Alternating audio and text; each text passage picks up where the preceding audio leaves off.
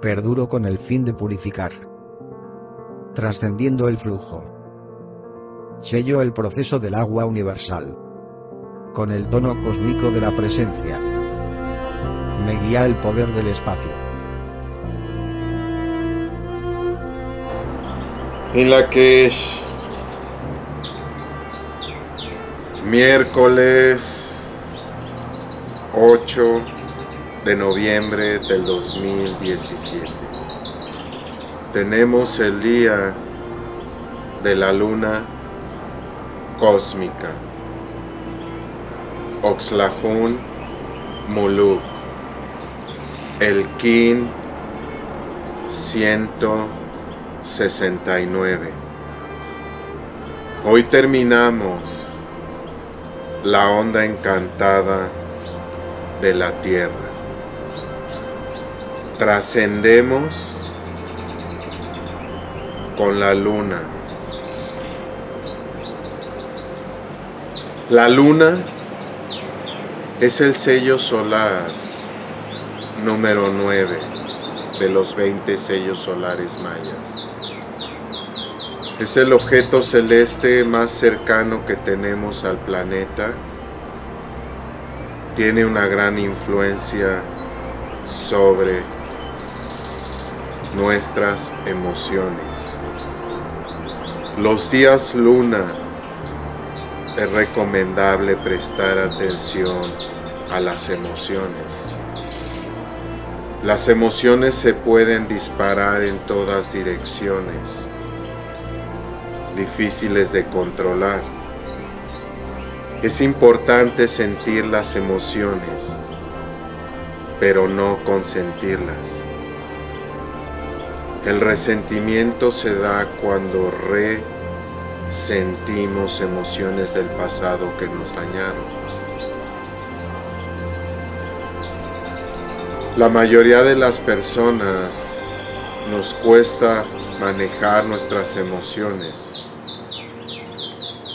las emociones es importante expresarlas, no reprimirlas. A menudo si hemos tenido situaciones que nos han dañado, tendemos a reprimir emociones. La enfermedad empieza a nivel emocional. Cuando reprimimos una emoción, eventualmente se somatiza en el cuerpo físico en enfermedad. Conócete por tus enfermedades. La luna también nos invita a perdonar. Siempre es un buen día para perdonar. Sin embargo, los días lunas no los recuerdan llevarlo a cabo. Piensa en alguna persona que sientes te ha herido alguien en el pasado. Quizás sientes que lo has perdonado, si todavía te causa como una sensación de malestar al pensar es que no has perdonado, perdona. El perdón libera un prisionero, te recuerda que el prisionero eres tú. Sin perdón no hay evolución.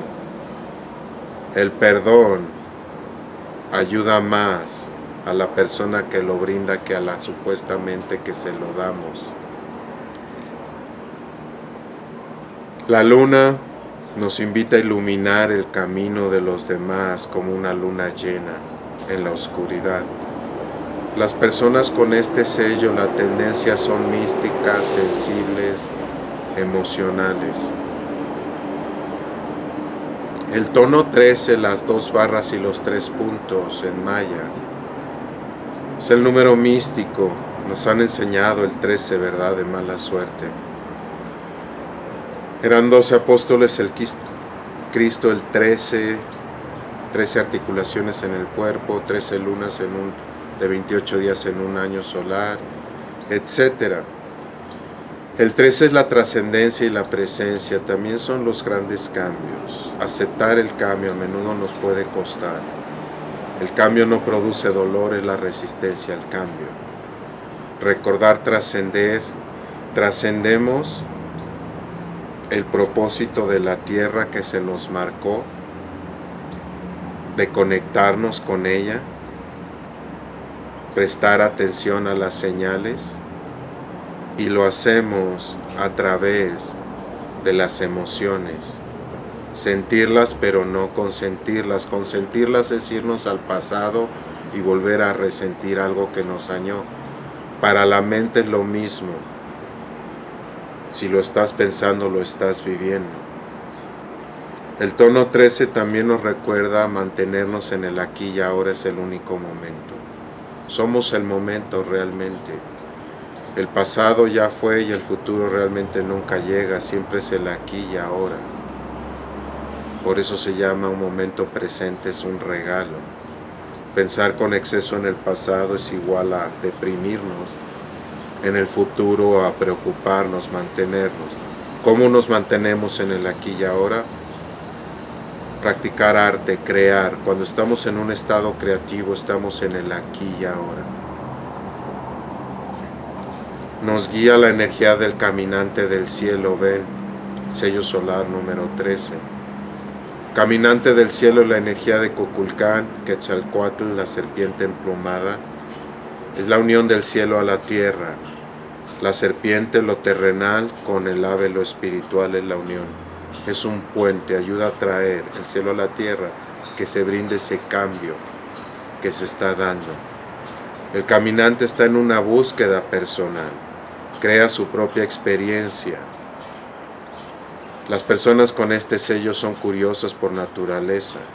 Es la exploración, el explorar el espacio exterior, pero más importante nuestro espacio interior, vigilarlo, nuestra mente.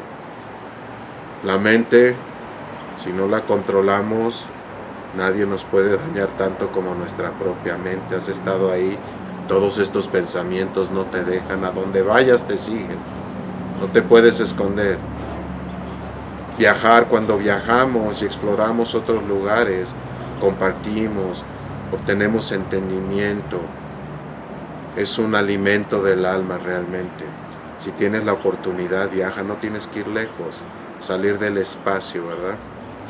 Que usualmente donde permanecemos. Finalizamos la onda encantada de la tierra. Cabán.